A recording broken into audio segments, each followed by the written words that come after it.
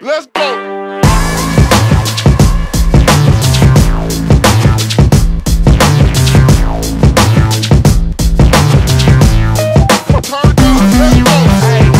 Hablando de este tema de la, de la vastedad de la obra, caray, perdón porque voy a traer algo mío acá, pero uno se pone a producir por, por la gana de producir, porque es una cuestión vital, y produce uno, y produce, y produce, y se va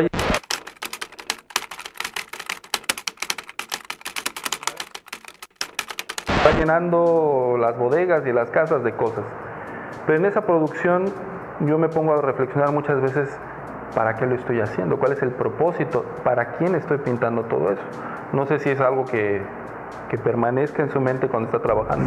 Por supuesto, en, en mi caso eh, yo pinto para mí y como te he comentado, pinto pues cuando tengo ganas, cuando quiero, no puede ser todos los días, no es un oficio de todos los días y todo el día. Puede pasar una semana, 15 días, un mes, a veces hasta tres meses y yo no me paro por el taller.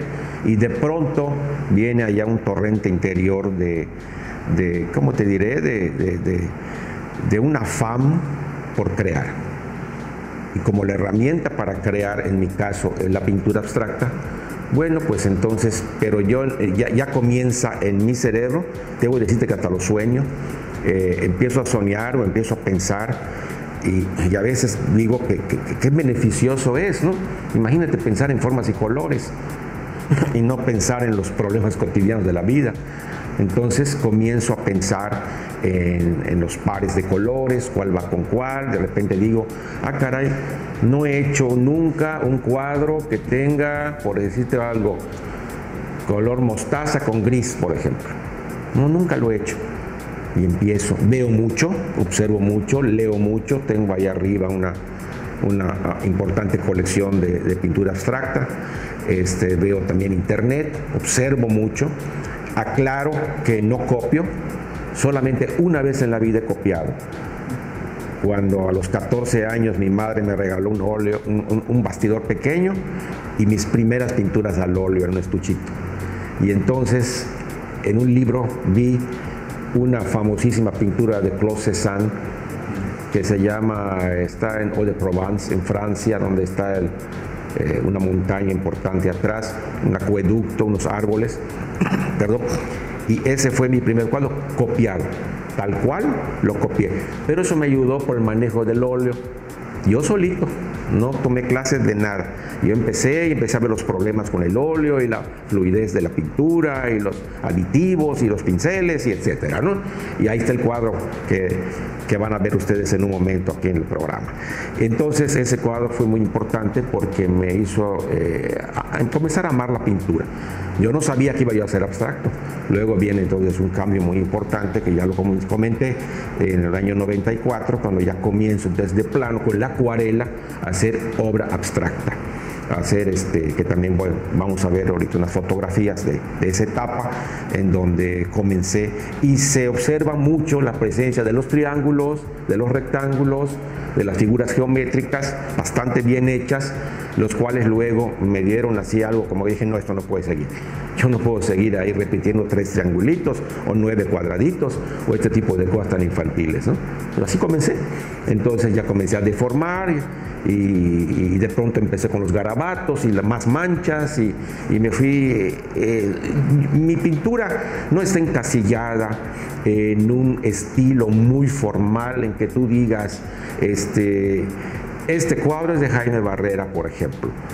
Mi pintura es muy diversa. Hay algo en todas, hay algo en todas en que si observas puedes decir, ya sé de quién es este cuadro.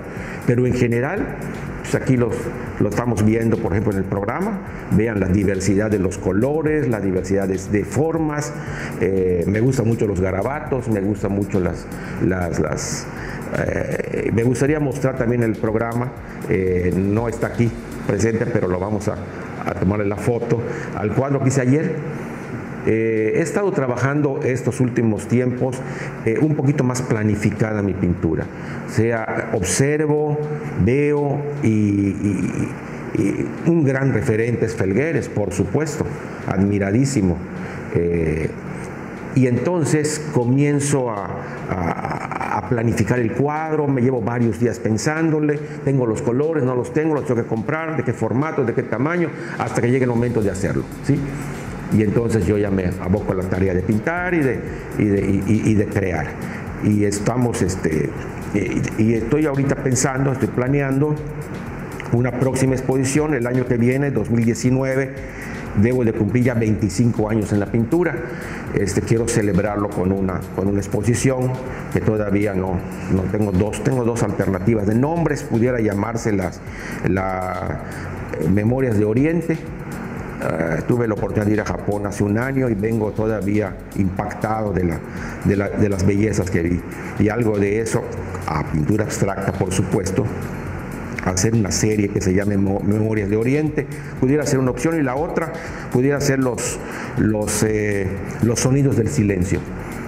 Pudiera ser otra serie, van a ser cuadros, inclusive planificados todo para la sala 1 del Olimpo. Muy bien. Tengo que ir a, tengo que ir a solicitar el espacio. Eh, así es, justo esa es la, siguiente pregunta, si estaba trabajando en alguna serie. Me llama la atención esto de que ahora hay un poco más de planificación. Entiendo que no es como romper con lo que se estaba haciendo, sino como disfrutarlo de una manera distinta, ¿verdad? Sí, el pintor va evolucionando. Es una evolución, sobre todo en mi caso, permanente. Eh, hago cosas que, que, a veces las puedo ver. Eh, bueno, te diré, yo no. A mí no me preocupa mucho la. Como soy tridimensionalista, me gusta mucho la textura y me gusta mucho, por ejemplo aquí lo vemos, esto es una textura, pero los expertos van a decir que esto no tiene buena factura, o sea, no la calidad, pero a mí poco me importa eso. A mí lo que me interesa es que yo aunque está prohibido tocar las pinturas, pues yo las toco, digo las mías, las de los museos no lo hago, pero las de acá yo la toco y me gusta cuando la luz es cenital, la, sombra y los efectos que da. Entonces me atrae mucho la, texturización en mis cuadros, por eso la mayoría de ellos puedes observar, sobre todo aquel verde que anda por allá, está, pues imagínate, tiene, tiene, tiene hasta alambre alambre recocido y, este, y entonces este, pues, soy muy texturizador y esta tridimensionalidad pienso yo que le resta factura a mi obra, pero no me importa. A mí no me importa, o sea, yo lo hago porque, insisto, yo pinto para mí. Este, si alguien la ve y a alguien le gusta y inclusive la puede comprar, pues es una satisfacción enorme para mí esa circunstancia. Pero gracias a Dios y afortunadamente, pues eh, debo decirlo, no, no vivo yo de la pintura, este, sino que es una, es una pasión, es un, ya un oficio que hago. Es muy divertido también. Totalmente, me, me, da paz, me da tranquilidad, me divierte, me hace pensar en cosas muy, muy bellas como las formas, los colores, las técnicas y, este, y olvidarme de, las, de los problemas cotidianos de la vida. Muy bien, maestro. Eh, para concluir esta, esta sección, Podríamos decir entonces que el motivo de Jaime Barrera es simplemente pintar. Tan sencillo como eso, muy simple. Cambiando un poco de tema y, poniéndole ahí este pimientita al asunto, tú has estado en la representación de algunos espacios culturales importantes en la ciudad de Mérida. Ya mencionabas hace rato eh, la Galería de la Wadi, que permaneció por muchos años. Ahora entiendo que están haciendo una reestructuración. Oye, ahora parece que viene, según eh, tengo entendido, viene aquel pequeño centro cultural que en mi época pudimos instituir en la UADI. Ahora el plan de las autoridades actuales, según escucho, es de que todo el edificio central va a ser un centro cultural, lo cual es una maravillosa noticia para la ciudad. Ojalá funcione así. Estuviste también en la dirección de cultura del Ayuntamiento de Mérida, de hecho fue allá donde tuvimos la oportunidad de, coincidir, ¿sí? Eh, ¿Cómo has visto el desarrollo, la evolución del ambiente de las artes visuales en Mérida de esas fechas hasta ahora? Bueno, yo lo veo muy bien. Habrá quien me quien se oponga a mi comentario, pero bueno, eh, también cada quien tiene derecho a opinar. Este, yo lo veo muy bien en este sentido. Eh, yo recuerdo, bueno, yo estuve ahí hace 13 o 14 años, ya pasaron 13 o 14 años de, esa gestión, y la cantidad de pintores, de artistas visuales de ahora, no podemos comparar a lo que había en aquellos años. Entonces, eh, las autoridades de ahora están muy presionadas pues para poder atender esa demanda. ¿sí? Eh, yo observo ahora eh, que en toda la ciudad hay una explosión de creadores en todos los sentidos, espacios, bueno, tú mismo tienes, un, yo te conocí como un empleado en el ayuntamiento y eres galerista, ¿sí? Y cada vez veo más galerías, entonces, este, y, me pregunto, ¿y, ¿y dónde está la gente que va a comprar los cuadros a las galerías?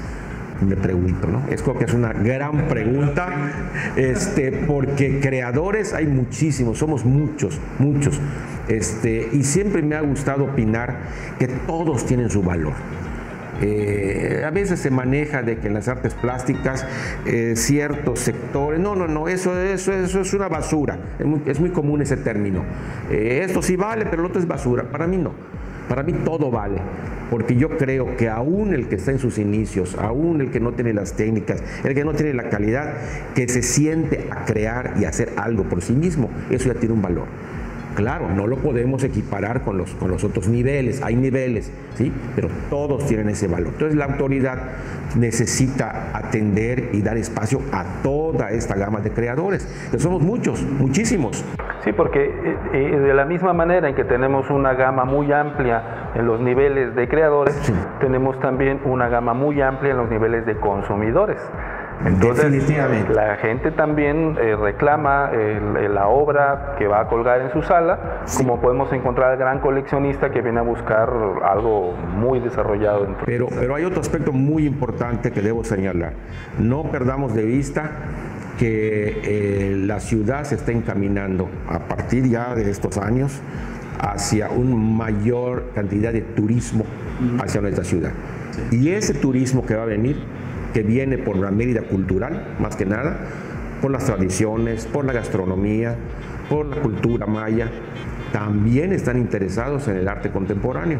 Entonces son potenciales compradores de obra mediana y pequeña porque no se van a poder llevar un, gran cuadro, un gran cuadro pero sí se pueden llevar uno mediano pequeño, ¿sí? inclusive se pueden llevar obra en papel original. Entonces ahí, ahí yo vislumbro un gran mercado futuro. Hay que tener fe y esperanza. Eso te iba a comentar, que serían prácticamente dos preguntas en una. ¿Qué estrategias tiene Jaime Barrera para difundir su obra y qué estrategias crees que la ciudad debería tener para dar a conocer la obra de quienes estamos acá? Bueno, este, sí, tengo, tengo las respuestas, José Luis. Mira, respecto a la estrategia de la ciudad, hay un, esto lo he comentado con, mi amigo Alberto Ursáiz, eh, hace mucha falta, urgente ya, un museo o un salón de la plástica yucateca permanente, un espacio en un buen lugar en donde puedan los yucatecos, los nacionales o el turismo internacional conocer lo que se está haciendo de arte plástico en Yucatán, en fotografía, en instalaciones, en pintura figurativa, que es muy valiosa también, la pintura abstracta, todas las disciplinas que hay, que son muchísimas, hay muchos creadores, seleccionar obra de todos estos artistas de una manera muy profesional, cuidando desde luego la calidad y presentarla de una forma permanente en un recinto en Mérida. Un recinto adecuado, puede ser una gran casona, puede ser un edificio nuevo. No estoy yo pensando en, en un edificio eh, carísimo, costosísimo. Construido para eso. No, no, no, sino algo, algo que esté acorde con la ciudad y con, y con los recursos disponibles, que son escasos, pero sí nos hace mucha falta un recinto de la plástica yucateca. Porque, eh, por ejemplo, con, lo puedo comentar, el Macay, por ejemplo, que tiene sus propias iniciativas, muy valiosas, por cierto, pero el Macay eh, solamente hay tres salas permanentes. Está Gabriel Ramírez, que es un magnífico pintor yucateco, está don Fernando Castro, que ya falleció, y Fernando García Ponce, también ya fallecido, que son tres salas permanentes. Pero entonces yo me pregunto, ¿y las demás salas permanentes de toda la plástica yucateca dónde están? Entonces, todos estos estamos ocasionalmente, cuando encontramos lugar, en alguna galería, en algún recinto, porque nos tocó una exposición, pero ¿cuánto tarda? Un mes, mes y medio, dos meses, se terminó y va para afuera. En cambio, en un salón permanente, ahí tendríamos una. Entonces, este, esa idea, inclusive ya le he platicado con, con, este, con Irving Berlín, de, que es autoridad, de, que es el director de cultura de ahora, para plantearle, este, transmitirle esa inquietud, ¿no? De que en su momento, pues lo considere y ojalá lo tomen en cuenta. Ojalá, ojalá lleguemos a eso. ¿En dónde podemos ver eh, tu obra, maestro, en estos días? Bueno, bueno la, la obra, eh, para las personas interesadas, este, eh, lo podemos manejar a través tuyo, a través tuyo, por favor. Este, es aquí en la casa de ustedes. Yo antes estaba en la Galería 5 más 1, bueno, tenía yo en una galería no puedes tener toda tu colección, pero aquí en la casa de ustedes, que es una, pues yo le llamo casa galería, eh, aquí este, hay, hay, aquí hay cuadros hasta en el baño. Efectivamente. Falta, me falta, me falta en el patio, es lo único que no hay cuadros en el patio. Entonces, este, hay cuadros por todos lados y muchos archivados todavía, ahorita van a ver allá arriba en el taller.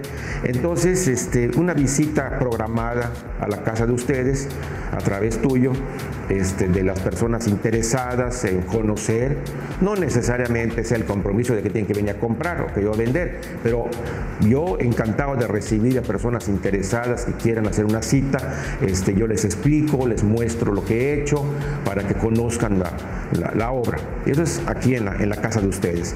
Y, eh, y, bueno, pues anuncio que el año que viene, no sé, por ahí de abril o mayo voy a tener esta exposición de mis 25 años en el Olimpo, en la sala 1, este, con todo un nombre que todavía no. Es más, tengo encargados ya los bastidores, debo de comenzar a pintar muy pronto. Es una serie nueva, este, que por cierto he estado pensando qué voy a pintar, cómo lo voy a pintar, qué, qué voy a hacer. Primero, tratar de darle unicidad porque mi obra es muy diversa.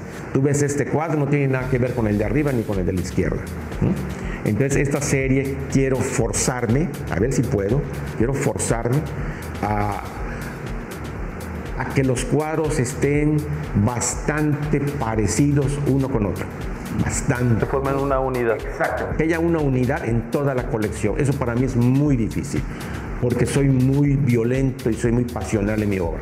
Entonces esto lo puedo hacer así, pero no, no, no, esto ya hice azules y ya hice ocres acá, eh, va para afuera. Ahora ¿qué le toca? Ahora todo blanco y me hago un cuadro neutro.